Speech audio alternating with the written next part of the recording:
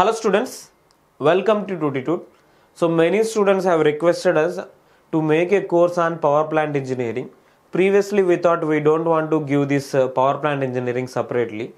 So because the other branch students like uh, civil, mechanical and uh, chemist who are preparing for this, so they are asking us power plant engineering. So that's why we want to make the power plant engineering and it will be useful for the electrical students and electronic students also. Okay, so whoever preparing for Telangana Genco, so power plant engineering course we want to give as a separate course. It will be a single subject.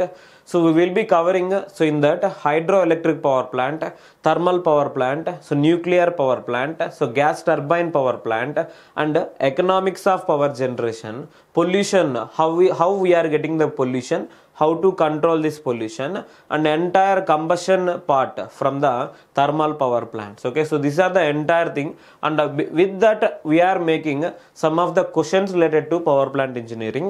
So based on all these economics pollution and entire power generation concepts with that we are providing previous year questions also from the power plant engineering okay so like uh, genco 2015 so genco 2015 ece questions and genco 2015 electrical questions okay? So triple E questions and civil questions similarly okay? So we, we are giving all these questions also.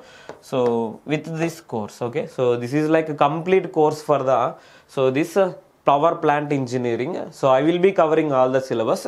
And even if you want to ask any doubts from this power plant engineering also you can ask me. So you can call us and ask about this course okay? Whoever just want this course just in the description there is certain link okay? So you just click on that and fill the form. We will call you and we will give you at very less price okay? So we thought of giving at only 500 rupees okay? Because it's a single subject and it has to be useful for you we will give up to your examination validity okay? So anyway if you want any clarification about this course you can call us. All the best. Thank you so much